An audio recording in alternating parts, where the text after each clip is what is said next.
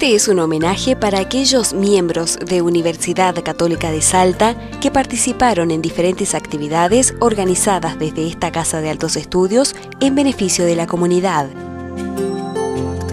Desde la Facultad de Arquitectura y Urbanismo, alumnos, bajo la coordinación de profesores, diseñaron proyectos con miras a contribuir al desarrollo de la sociedad y recibieron los premios Odebrecht. Trabajar en familia, San Carlos, protagonista de una economía sustentable. Es un proyecto que fomenta la participación comunitaria a través de la producción y comercialización de productos de la zona tratamiento de aguas residuales en la universidad y autoabastecimiento de la misma. Este proyecto busca la optimización del uso de energía a través de una planta de tratamiento de aguas residuales de la universidad. Por su parte, la Facultad de Ciencias Jurídicas estuvo atenta a los temas que se abrieron al debate en nuestra sociedad y organizó diferentes charlas y programas con el objetivo de realizar un aporte desde el ámbito académico. Entre las disertaciones que se organizaron se pueden mencionar la visita del doctor presbítero Pedro Chiesa, quien habló a los alumnos y a la comunidad en general acerca de fertilización in vitro y alquiler de vientres. El aborto fue otro de los temas de debate. La facultad recibió la visita del doctor Ciro de Martini, quien disertó El médico frente al aborto. Médicos, abogados, asistentes sociales y miembros de la comunidad en general participaron de esta charla. Alumnos de trabajo social contribuyeron en el programa de prevención y asistencia integral a las víctimas de violencia del Ministerio de Derechos Humanos de la provincia de Salta. Entre otras actividades, realizaron talleres de teatro en el barrio Hernando de Lerma. Los adultos mayores también tuvieron su espacio en UCASAL a lo largo de este año. A través del programa UPAMI, la universidad, en conjunto con el PAMI, brindaron talleres a los afiliados a la obra social, lo cual permitió el acceso de personas de edad al ámbito universitario. La Facultad de Artes y Ciencias, por su parte, organizó un festejo por el Día del Niño, destinado a más de 150 niños de la Escuela de Fe y Alegría. Los agasajados disfrutaron de juegos, películas, música y títeres en el campus Castañares.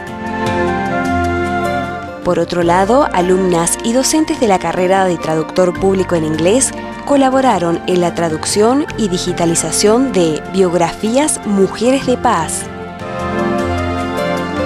La Escuela Universitaria de Música, dependiente de la Facultad de Artes y Ciencias, brindó una serie de conciertos que permitieron una apertura a la comunidad, contribuyendo a la transmisión cultural. Entre las numerosas presentaciones de los alumnos podemos mencionar la interpretación de Las bodas de Fígaro y el concierto realizado en la parroquia San Juan Bautista de la Merced. También la Escuela Universitaria de Educación Física organizó actividades destinadas a niños de diferentes fundaciones. En octubre, alumnos y profesores organizaron el tercer campamento educativo, del que participaron 1.200 alumnos del programa Riesgo Social Creciendo Convivencia, dependiente del Ministerio de Educación, Ciencia y Tecnología. También se llevaron a cabo las Olimpiadas recreativas destinadas a jóvenes con capacidades diferentes de la Asociación CER. Alumnas de Ingeniería Industrial colaboraron en la elaboración de una bebida láctea a base del lactosuero excedente de la producción de quesos en la escuela agrícola que será destinada a comedores comunitarios. Otros alumnos y profesores trabajaron en conjunto con el municipio de Salta para desarrollar un proyecto de vulnerabilidad física de la ciudad, para así actualizar los planes de prevención y emergencia ante eventos sísmicos miembros de la Facultad de Ciencias Agrarias y Veterinarias brindaron asistencia a un puma que fue encontrado en un pozo en la localidad de General Güemes herido de bala. El felino permaneció una semana internado en la facultad y luego fue devuelto a su lugar de origen. También realizaron capacitación y asesoramiento en el área bromatológica en Iruya.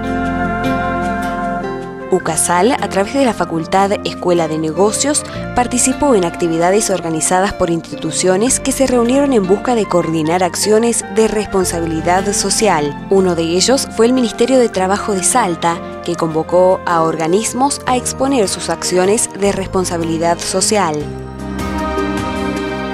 Esta Casa de Altos Estudios también participó de la primera Jornada Nacional de Responsabilidad y Balance Social, exponiendo el plan que desarrollará el año entrante.